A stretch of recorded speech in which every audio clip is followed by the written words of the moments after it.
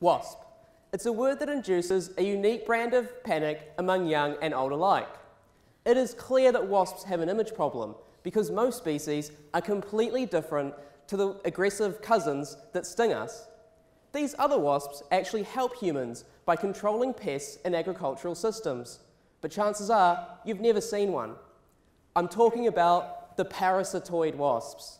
They're harmless, seldom seen, and they lead solitary lives, but they do inspire terror among certain sections of the bug community, and for good reason.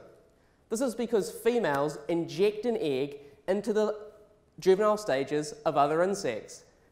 The wasp larva hatches and feeds selectively inside the host to keep it alive for as long as possible. It then forms its own pupa from which an adult wasp will eventually emerge. Creepy? Yes, but successful and important too. There are over 110,000 species of parasitoid wasps currently described worldwide, making them more diverse than us vertebrates. They're often classified as keystone species because they have a disproportionately large impact on ecosystems and their removal causes flow-on effects to other species. 80% of the estimated 3,000 species in New Zealand are endemic. They're found nowhere else in the world.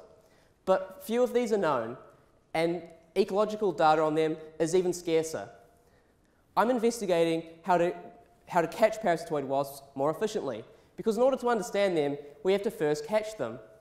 I caught 950 specimens from 85 species at two Auckland sites over the summer. I'm now using my data to design optimal sampling strategies that seek to catch as many species as quickly as possible with the fewest number of traps. This information helps us in three main ways.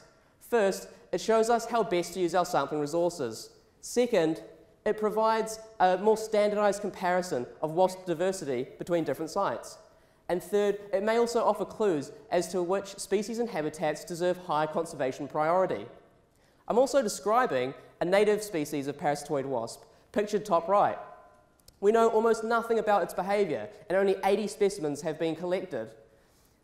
But species descriptions form the foundation of all biology.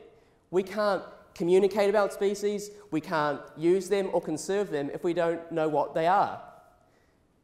My research addresses this issue by ensuring that study of parasitoid wasps is economical for the future. In doing so, we get one step closer to uncovering the aliens all around us. Thank you very much.